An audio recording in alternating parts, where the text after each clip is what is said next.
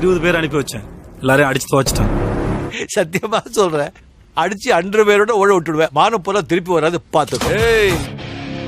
எவனுக்காவது பொண்டாட்டி குழந்தை குட்டின்னு சென்டிமெண்ட் கிண்டிமெண்ட் இருந்தா அப்படியே ஓடி போயிடு. கொலை காட்ல இருக்க அவனை கொல்லாம விட மாட்டேன்.